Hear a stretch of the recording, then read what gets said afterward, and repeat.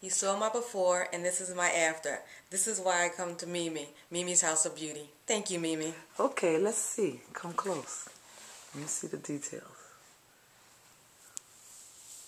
Okay, turn around. And can you slightly put your head down like this so we can see? Beautiful. Mm -hmm. I'm right. very happy. well, shake it for us if you're happy. Oh my God. Oh. this is great.